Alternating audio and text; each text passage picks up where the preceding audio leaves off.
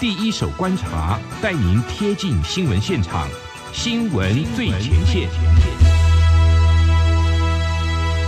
这里是中央广播电台台湾之音，听众朋友继续收听的节目是两岸 I N G。那么在这边呢，丽姐在跟大家拜个晚年哦，祝大家三阳开泰，洋洋得意，神采飞扬。我们继续就要透过记者的新闻笔，带你深入了解完整的新闻讯息。其实刚才这个拜年啊，谈的都是有关年哦。其实这个农历春节是还没有过哦，要到正月十五才算是这个年，是大家可以回到工作岗位。不过现在人不到。正月十五就已经回到工作岗位。今天在我们的单元当中提到这个过年，我们要来看一看现代人怎么过农历春节，两岸有什么样的差别？而且今年的生肖属羊，那么在台湾有不少人讲这个流年运势，那么大陆是不是也是这样子呢？还有这个过年哦，像在澳门哦，我们大家都知道，它是一个哦，很多人过年的时候小赌一下嘛。今年生意好不好呢？相关的话题，我们将连线中央社驻上海记者冯昭来跟我们话过年。非常欢迎冯昭，你好。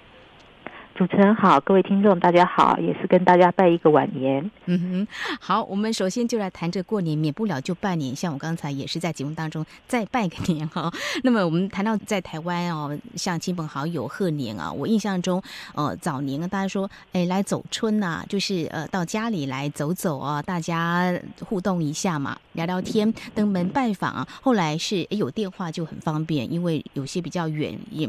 过年呃几天的年假大概也。出不了远门，呃，到前几年还有手机简讯也非常的流行哦，最近更是 Line 很流行哦。那事实上我常常用简讯哦，后来发现哎，好像没有人用简讯拜年，呃，这几年也不敢用这个简讯拜年，大家都用 Line。不晓得中国大陆这几年的演变是不是跟台湾有相同的地方，或者是有不一样的这个拜年的形式呢？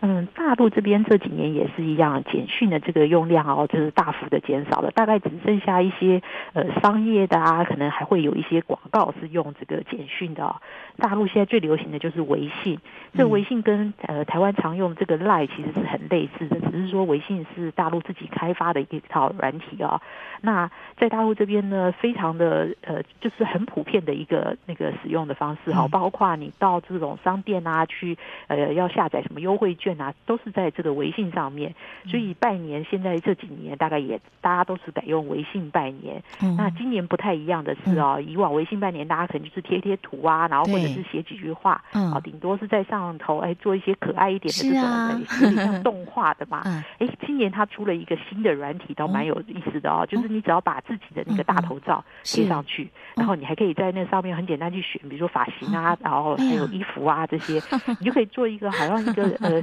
卡通版的你，然后再跳那种哎，比如说什么街舞啊这种很炫的舞蹈，然后跟大家呃边跳这个过年的舞啊，好像甚至什么小苹果这种配乐，就很炫的拜年方式，所以很多人都在玩这个。哇，嗯，好特别哦！过去呃收到这个很可爱图案就已经开心的不得了了，现在还可以让自己呢，看要变什么样的造型都可以哦。那么，我想这个网络在中国大陆真的是发展的非常的啊火红哦，所以各种软体好像是应运而生喽。其实我在想哦，像台湾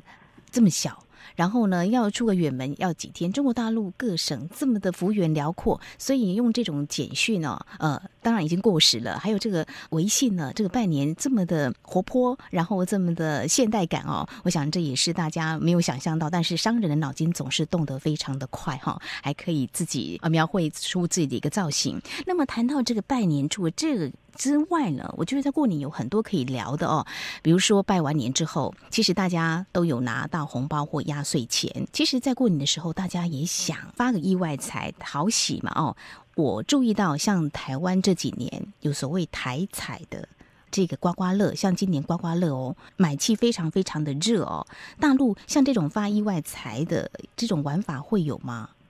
嗯。也有大陆其实哈，就是过年大概从呃九零年代以后哈，其实大家几乎都是在这个电视前面看春晚嘛，央视的春晚，因为它这个是全国联播的，所以每年大家说哎过年前就在期待说哎这个春晚要播什么节目啊，或者是说播完之后大家就开始吐槽，变成大家一个娱乐。哎，今年的这个看春晚呢多了一个新的，就是抢红包。哦，抢红包这个游戏哦，其实去年的时候就。有开始了，但是那个时候呢，嗯其实呃，因为才刚开始哦，所以可能还只是一小部分的人在玩。那嗯那个时候呢，呃，应该要先讲到，就是说大陆这边，因为原来是阿里巴巴它这个呃，就是我们大家呃台湾很熟悉的这个淘宝网啊，它的那个支付宝是在大陆等于说是遥遥领先嘛。嗯，那腾讯呢，它就是哎，突然之间突袭珍珠港这种模式哦，就推出了一个在过年抢红包这个游戏，嗯就非常的受欢迎。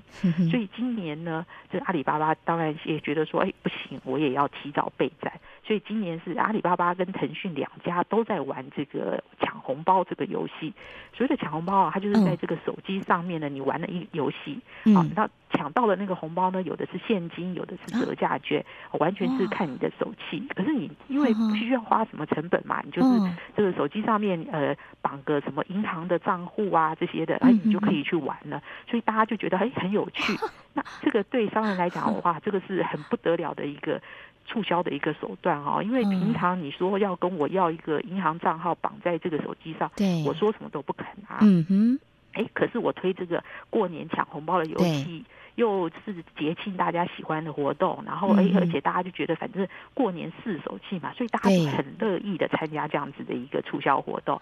哇，所以嗯那个时候呃，春晚最疯狂的时候，一分钟是八亿的人在抢红包。哇 哇！其实像这种消息，也透过网络很快就会让大家知道，就来试试手气嘛。所以网络的影响真的是无远佛界啊，非常的快速哦。去年没有抢到这个，今年就赶快送出红包。所以一边看春晚，一边怎么利用网络来抢红包啊？广告的时候喽，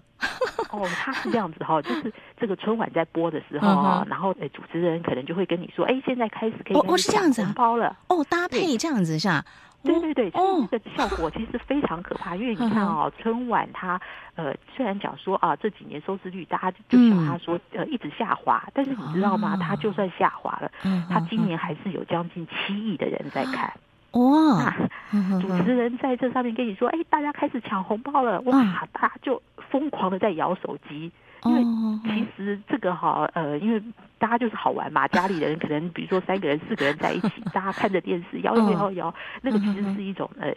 共同的娱乐。嗯能抢到多少钱？其实真的，我听到嗯大部分人可能抢的就是几块钱，甚至有几毛钱的也有。很多人抢到就是折价券，哦可是就是好玩，没错，啊所以才会说，哎，一分钟居然有八亿的人在同时摇手机，而且很多人摇的实在是太疯狂了，哎呀还。把那个手机摔到地是上。啊，太激动了，已经太投入了哦，所以不可思议。其实我觉得冯庄你讲的真的是蛮有意思的，就是说我们看到就说，其实他给的钱优惠又不多，但是大家为什么这么的疯狂？过年大家就是欢乐一下嘛。要不然我举个例子，像在台湾也有很多电视剧啊在播，他也有用这种方式啊，有一些哦送什么好礼啊，你来参加啊。可是好像感觉那种啊，就收视率的提高可能还是有限，但是过年的时候抓住了那种大家同乐的心情，然后呢就可以冲高这个收视率。对呀、而嗯且这个还间接带动了，就是一些银发族也去哦买了智慧型手机。哦真的吗你说爷爷奶奶啊对，怎么会去买智慧型手机嘛？哎、可是这嗯时候可能孙子什么的也都回家了，嗯然后嗯大家都在玩这个抢红包、摇手机，那爷爷奶奶会觉得说，好吧，那我也跟着大家一起玩。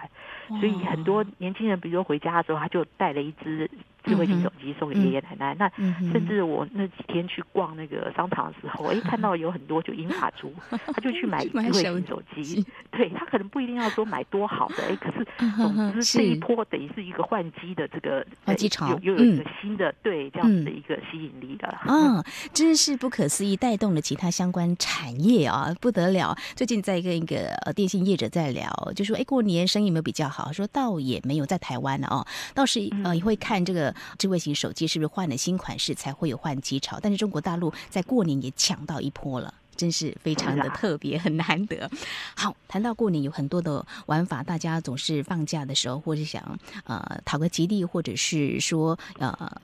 口袋呢有一些压岁钱，就会想去消费一下。呃，在台湾，呃，我们在不管是呃书店啦或百货公司最多就是抢福袋，就是买福袋哦。我不知道在中国大陆在啊消费行为上有没有像这种比较流行的这种购物的行为，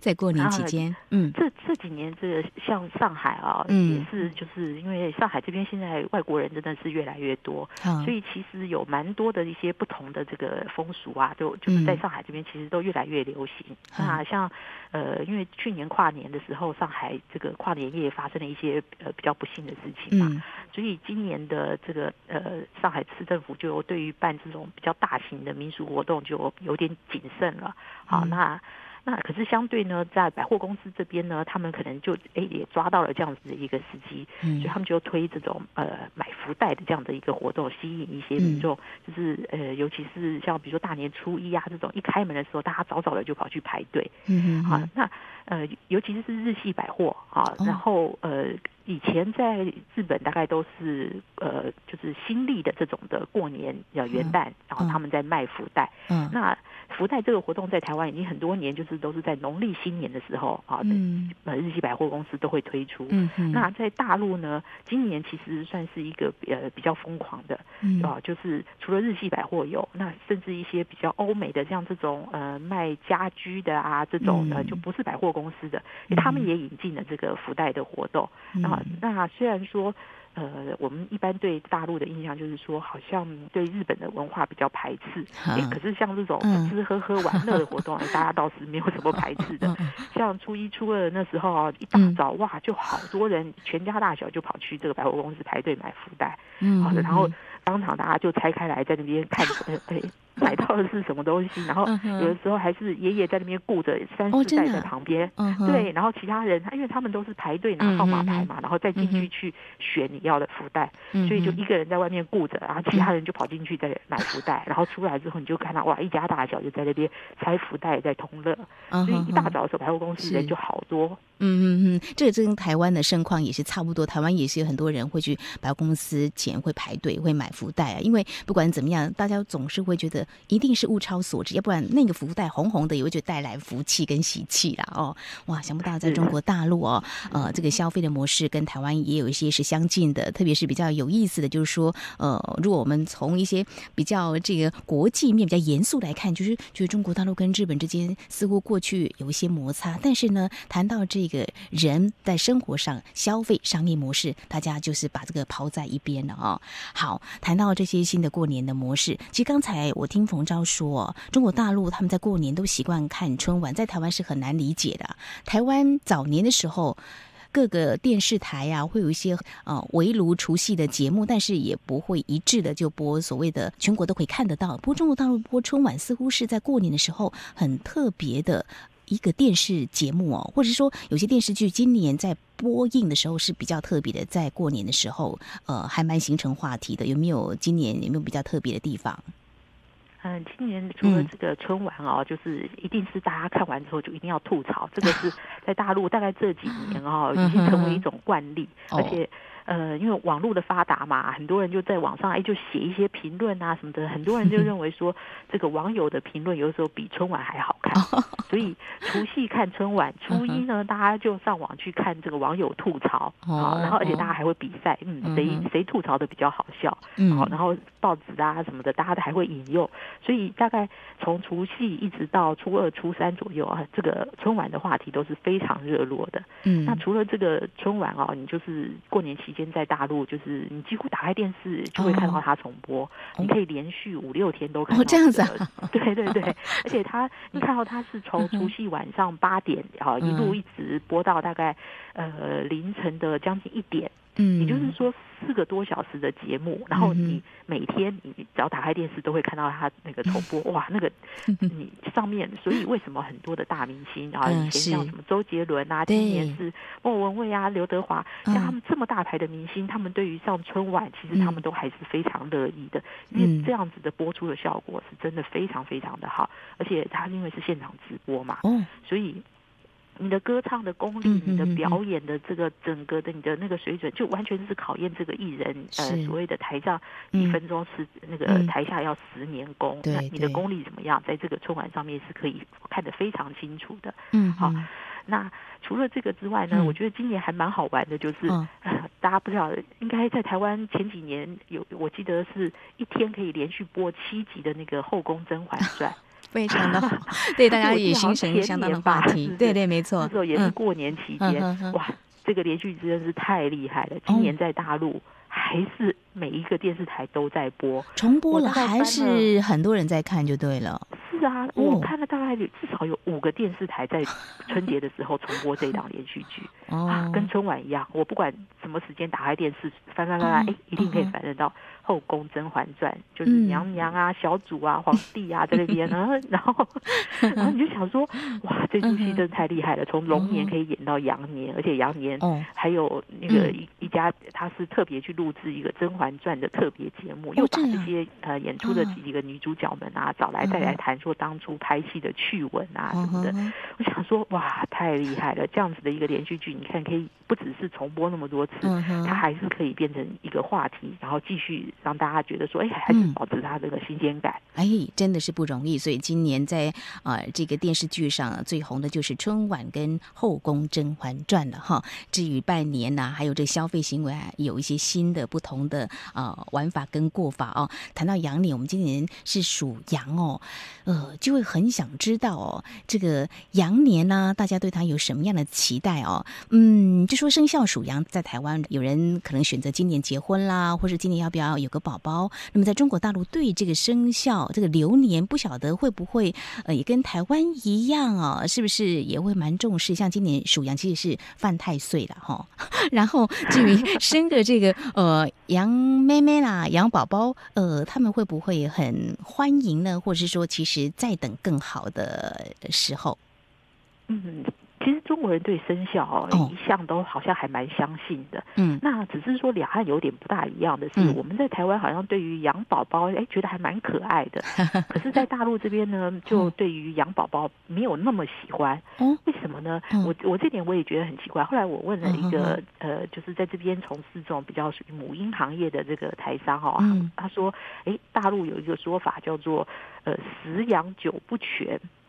这个说法我也听不太懂，对我什么叫十羊九不全？哦后来他跟我说，哦，这个其实是有一点误传，因为嗯当初呢，在这个周文王哦，他是一个很懂易经的人，他那个时候说的是十羊九福全，福气的福，九嗯福全，嗯所以是一个很吉祥的说法。但是因为那个时候的老百姓可能嗯识字的不多，所以大家口传啊这样子传传传，就有一点口误，把它传成了十羊九不全。啊，其实这样的说法，呃，并没有真的发酵，就是在那么古早的时代。嗯那可是呢，一直到了这个清朝晚期的时候，嗯啊，因为慈禧太后属羊，李鸿章、曾国藩也是属羊的，嗯嗯所以呢，呃，有很多对于这个呃满清晚期哈、因为嗯你知道晚期他们就感觉上是比较腐败了嘛，嗯那所以很多人呢就开始说，你看，就是因为这些属羊的人，好把这个嗯国家弄得不好了。那这样子的说法，然后又搭上以前有这个口误的这个十羊九不全这样的一个说法，嗯，所以在大陆呢就会觉得说，嗯，属羊好像不是太好。嗯啊，所以嗯像呃过年期间啊，也不是呃电，比如说像新闻也会都会去做这个呃医院很多这个羊对宝宝诞生的。嗯那他们其实很好玩，是他们还会去问妈妈说：“哎，你会不会觉得说生羊宝宝比较嗯没那么好啊？” 我们想说，嗯，奇怪，怎么会这样子问呢？哦哎，其实，哎，其实是，嗯、怎么讲呢？哎，家里人其实生小孩都很高兴的嘛，所以大家都会讲说啊，他说虽然好像大家都觉得吧，可是我们觉得小朋友很可爱呀、是啊什么什么的这样子。嗯对，所以讲是讲说，嗯，嗯可能大家觉得羊不是太好，会影响哦这个、呃生养宝宝的意愿，嗯但是真的生了，其实大家还是很开心的。只是说呢，就这个他们嗯。做这个母婴行业的人，他们自己来是。评估呢，他们会觉得说，哦。哦，可能就没有像马年的那个生育率嗯那么高、啊，因为哦大陆在去年开始开放生二胎嘛。没错，那所以，其实大家是认为说这几年的这个呃生育的人数会慢慢的在增加，嗯但是今年呢，呃，像他母婴行业就评估说，可能这个呃营业额反而会比去年稍微呃。跌个一成左右，这样子哈，影响到相关的行业哦。不过在台湾很喜欢生龙子龙女啊，所以其实竞争还蛮激烈的。孩子上学的时候就知道了，如果在今年羊年他们不喜欢生这个羊宝宝的话，呃，这些羊年出生的小孩反而压力会更少。所以这呃见仁见智哦，有得有失。好，最后 谈一个呃，就是其实冯昭虽然人在上海，但是要为什么要跟我们谈这个澳门的过年的呃？这个小赌的这个部分呢，呃，到底今年有什么不一样的地方呢？嗯，我是过年前就已经来这了嘛。啊，我大概过年前几天哈，我就每天都收到一个简讯，就是澳门赌场的广告啊。好，然后。甚至有微信也收到这样子的广告，然后我那时候就想说奇怪了，因为前年啊什么的，我也在大陆好像从来没收过这样子的简讯。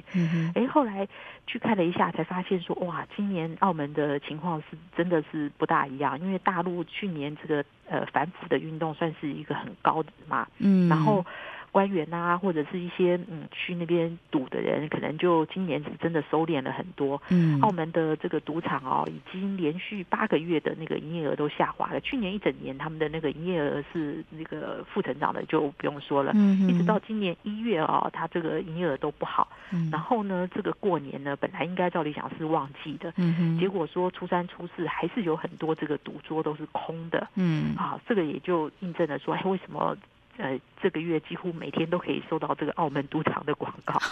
所以对反腐的运动对于这个澳门的赌场是影响是蛮大的，不只是说在这个大陆。内部有是说什么以前高价天价酒，现在几乎看不到了。天价年夜饭今年也基本上很很难很难见到。好，所以呃，所有的这个消费，今年真的比较明显是回归就是比较大众化的平民的这样子的一个呃消费了。嗯嗯嗯，这是双面刃哦，打贪腐呢也波及到一些相关的产业。呃，养宝宝大陆民众比较不喜欢，也会影响到相关的行业。但是我想今年有人可能也会发大财了，在这边。还是祝福大家，所以在今天呢，非常谢谢中央社驻上海记者冯昭，针对两岸三地过年的一个新的过法呢，是带给我们第一手的观察，非常谢谢冯昭，谢谢你，谢谢。